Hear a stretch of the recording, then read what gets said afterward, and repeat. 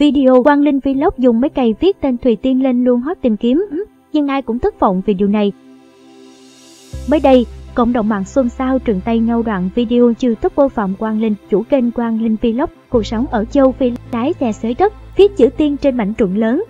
Thậm chí, nhạc nền còn là ca khúc có nội dung thổ lộ nỗi nhớ mong người yêu khi ở cách xa nhau.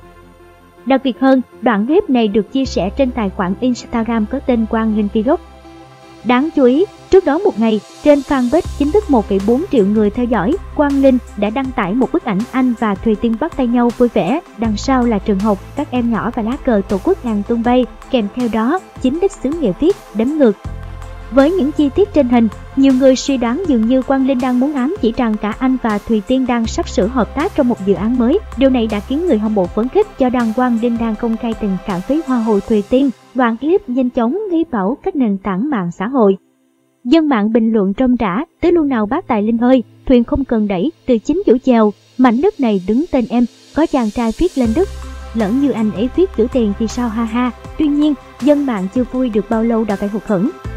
Qua tìm hiểu, đây thực chất chỉ là sản phẩm được chỉnh sửa bởi một fan của cặp đôi Quang Linh Thùy Tiên dựa trên video gốc Quang Linh đăng tải trên kênh YouTube chia sẻ về quá trình hình thành của nông trại. Nam youtuber tự lấy máy cày và máy xúc để tưới lại khu đất, làm sạch cỏ, cây dài thuận tiện cho việc trồng trọt. Tài khoản Instagram đăng tải cũng không phải tài khoản chính thức của chàng trai xứ nghệ. Quang Linh và Hoa hậu Tùy Tiên được cư dân mạng ghép đôi chuyện tình cảm sau chuyến đi thiện nguyện của người đẹp này ở châu Phi.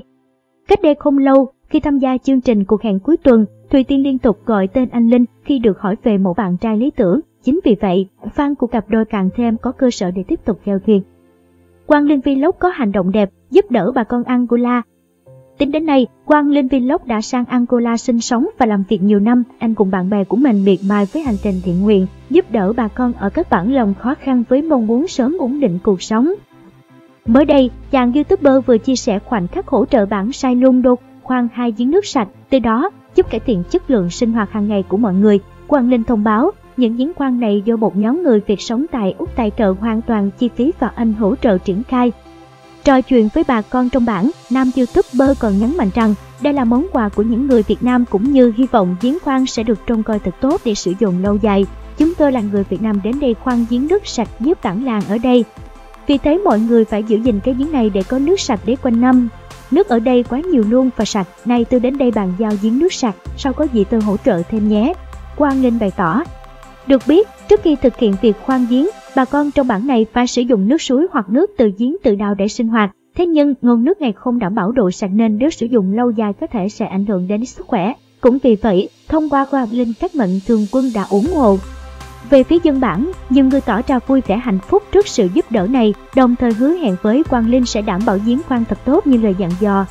Chưa kể, mọi người còn nhớ rõ năm youtuber từng đến để phát tặng gạo nên họ càng thêm cảm kích hơn vì cuộc sống đang hiền một tốt đình. Bạn cảm nhận thế nào về việc làm của Quang Linh cũng như cặp đôi Quang Linh, Thùy Tiên? Hãy để lại bình luận bên dưới nhé! Đừng quên ấn đăng ký kênh Xin Chào TV để xem các chương trình giải trí hấp dẫn mỗi ngày.